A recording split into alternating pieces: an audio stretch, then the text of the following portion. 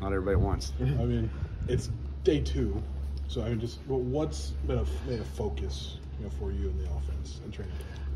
Oh, it's it's like it always is. Fundamentals, right?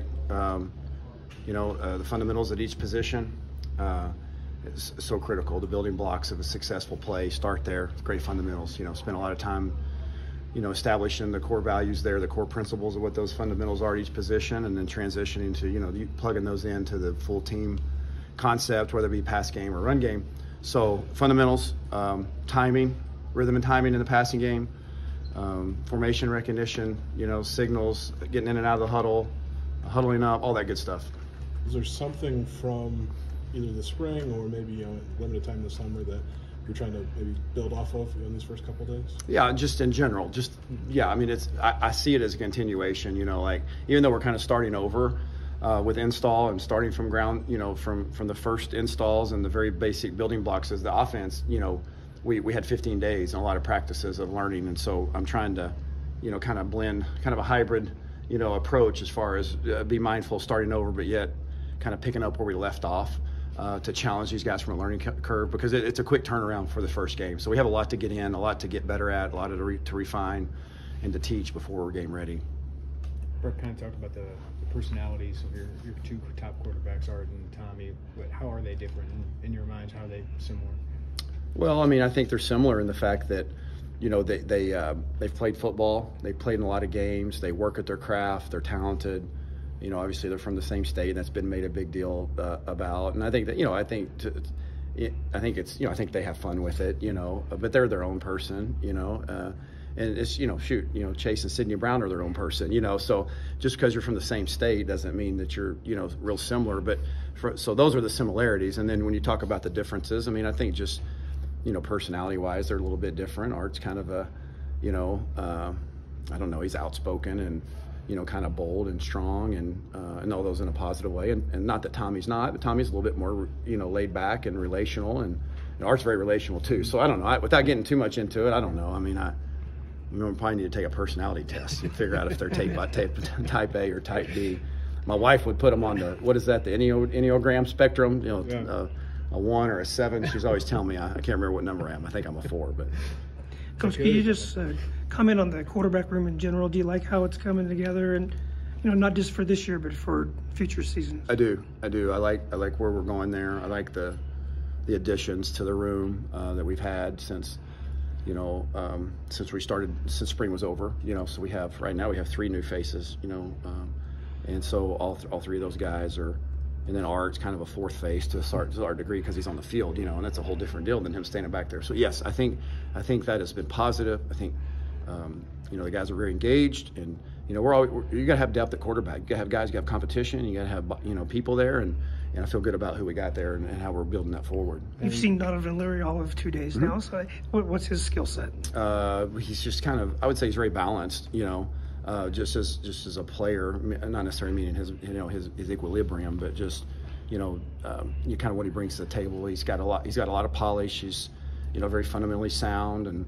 uh, but you know there's a, there's a lot to I mean a whole lot to learn, and uh, but he's he's very eager for that. One of the better uh, one of the better you know incoming freshmen. Um, ones I've been around before from a standpoint of his uh, eagerness and wanting and his willingness to learn and soak up information uh, he's a sponge in that regard, and that'll really go a long way for his you know development. Kirk Gunn's a really interesting story, of mm-hmm. course. But what did you see out of him in his one big year of high school, and and now that he's getting back into the sport? What's that coming back to it like? Well, I think I see I see on the field kind of what I saw when you know I didn't see him play in high school in his senior year, but um, you know I, I think he's a guy that belongs here. You know, uh, I think and, and to what that looks like and what the long term result of that will I think depend on a lot of factors, but most notably him and his development and his you know, desire to to learn and grow and be a sponge. But he's been a great addition, I think. I mean, you could tell one thing about him is, and him Donovan too. Like when they get in there as a freshman, like he's, you know, he, he you can tell he's operated before at a high level. And even though it's been high school, he's been in there and, and you know, and like I shoot shoot today, I think he's told me like I think probably like forty five thousand people in a state championship game. You know,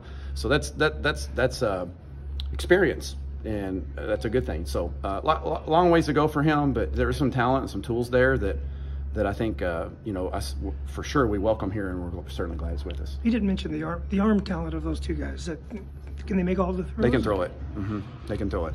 There's no doubt. What did the new faces at wide receiver, especially like Cody Case and Jonah Morris, kind of bring to to that room and to your offense? Uh, I think experience. You know, uh, they you know they've had a lot of game experiences. They've been in a lot of different offenses, and they're very you know they're very different, and even maybe probably their roles to some degree, but you know, and who they are and what type of receiver they are. But you know, I think that we were intentional about trying to you, you know look for people that could supplement maybe from an experience and maturity standpoint. Not that our guys are immature by any means, but we're just kind of a young group overall, and so I think that was those were good additions for us to help supplement you know just our maturity in the room overall. How nice were those summer practices? You know, I know you had spring ball to come in, but you never had that before in the summer with those guys. Yeah, I, it was great. I mean, it, and I thought we had a good balance in how we approached it. And so you can, you know, the continuation of, you know, the spring. You know, back in the day, back in the day, you know, my day or whatever, um, you know, two days. The reason you did two days is, uh, you know, because once you were done with spring ball, you didn't see them for like three months. You know, so like you're like you get them on campus and you're like. Uh, well, we got we got four weeks of practice. We better practice hard, and you know, well, matter, matter of fact, let's practice twice. You know, and some guys three times. You know, I think that's probably where that started somewhere along the line, and, and so the rules have shifted a little bit. You know, not only do we get the 15 practices, we get some time with them on our hands.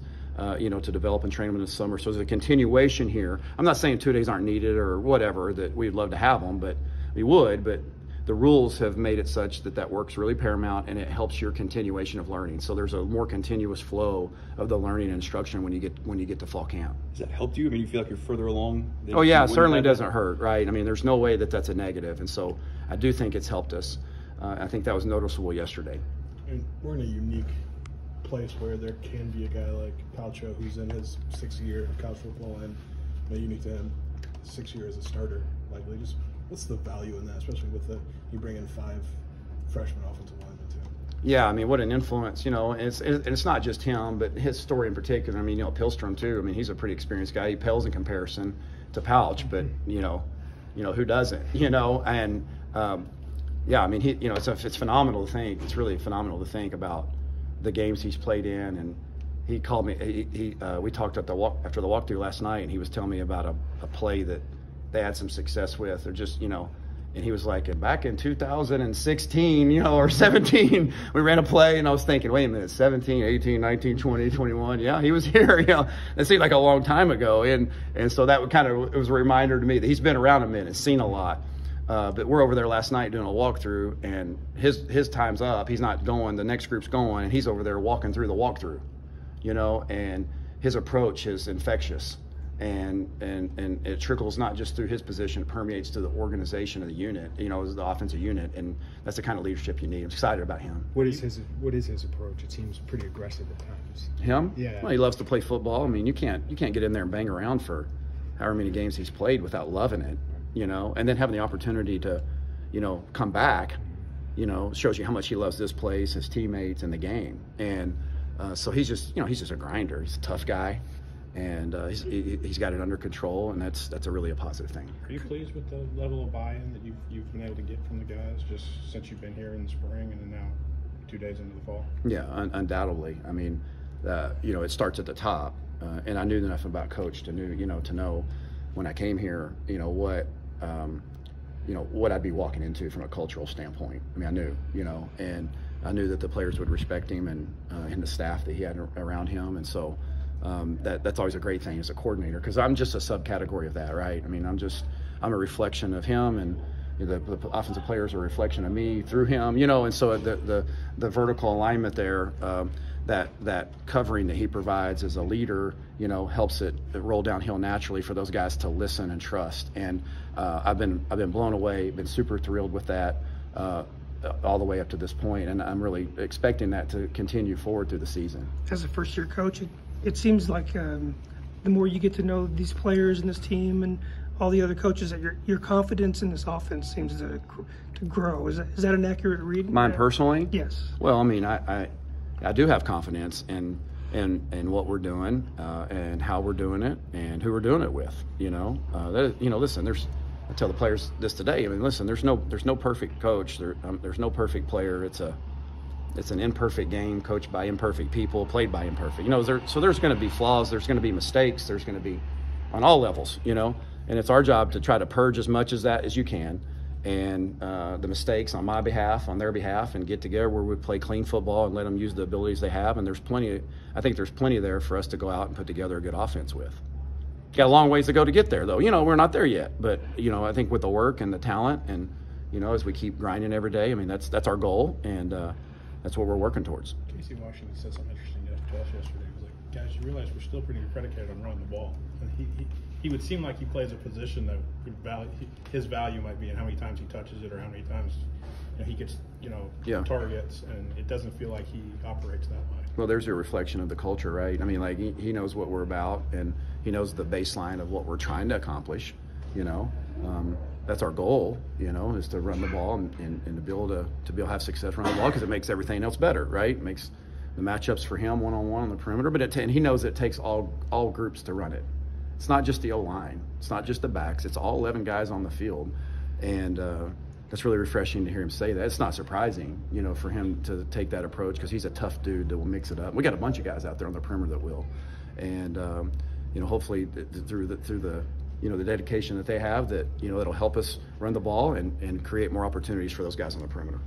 So you go through an offensive, and so do you set benchmarks of where you want to be by the time week zero comes, or how do you kind of gauge that? I kind of take it one day at a time, you know, to be honest with you. I mean, we have some vision. I have some vision of where, you know, we have a, you know, kind of a broad menu of where we want to go and what we need to get done. Um, and I think each year, each team, each day is different. So you got to have the ability to improvise and adjust. And that's certainly kind of how we go about doing it. Like, hey, man, we, we better come back and redo this ag- again and not move forward with the next building block because we haven't mastered that, you know. And then there's a fine line between you know, being paralyzed and not moving forward to try to be perfectionist about it. So we're, we're just kind of taking it one day at a time and, and trying to make it fit best to what, what our personnel is, what our strengths are, and what our weaknesses are. Anything else for Coach? Thank you. Thanks.